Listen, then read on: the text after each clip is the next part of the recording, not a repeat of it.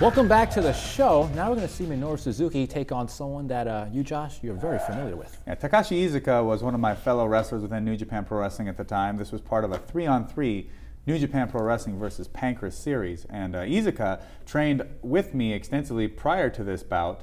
And uh, also, we were tag team partners in New Japan Pro Wrestling from time to time. And, and he is one of the people that uh, I created a real rapport with and was a regular training partner. And uh, really an honor to be there for Iizuka and help prepare him against another one of the people that I look up to, Minoru Suzuki. All right, let's go to the match.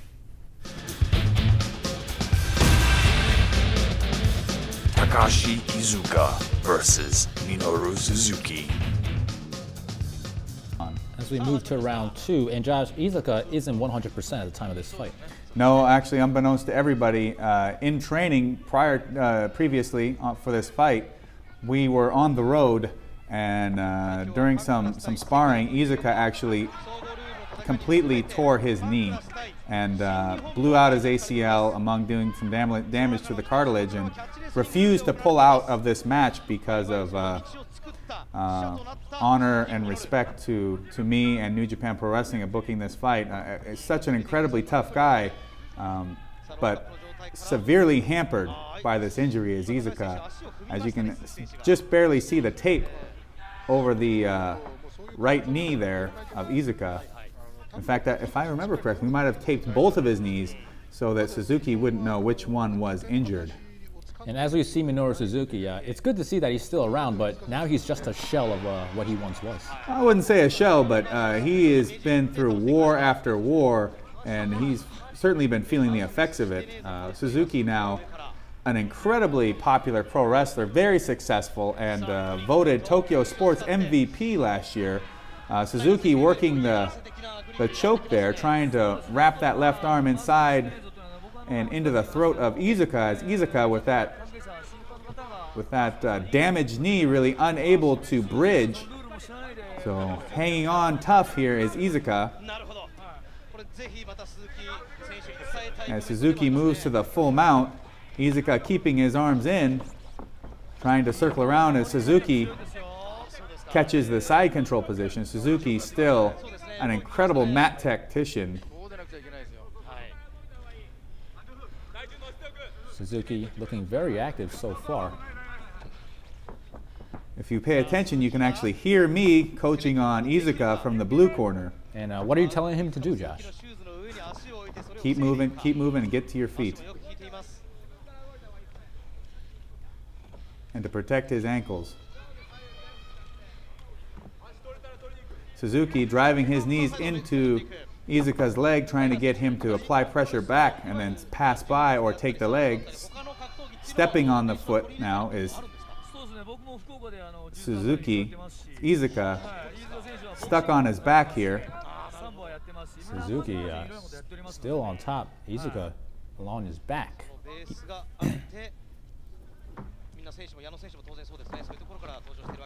Passing the guard, or attempting to, is Suzuki. Now jumping in on that injured leg is Suzuki. Iizuka groaning in pain. Iizuka would, is screaming right now, actually, and he's literally looking at me.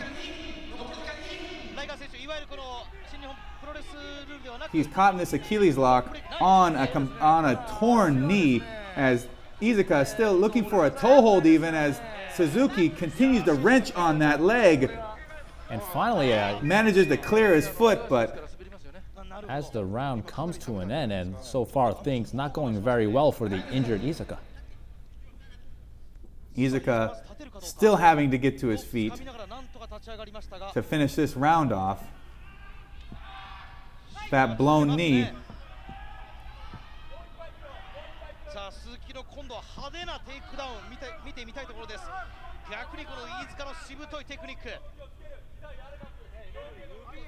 It's absolutely amazing to me that Iizuka can even function still at this point, with his knee really being kept together more by tape than anything else as he loses his balance and Suzuki lands on top. Iizuka trying to suck up that leg and maybe get on top of uh, Suzuki there, maybe even get a chance to work a toe hold from underneath.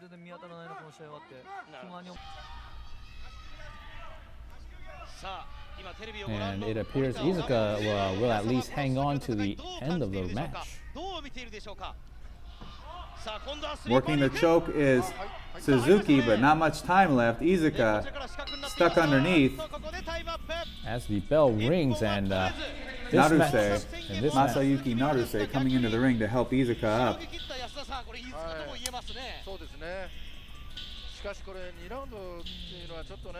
And uh, looks like this match will go to Suzuki via a decision as we wait to hear the results. And uh, who's that guy on the left, Josh? That would be a young Josh Barnett there. All of... Uh, just a little bit more hair, not that much more, just a little bit all of uh, 25 years old at the time.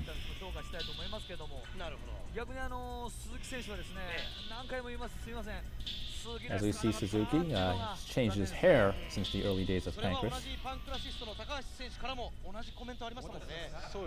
Suzuki's uh, wild hairdos would actually start to become a staple of his uh, character in the ring. One judge for Suzuki,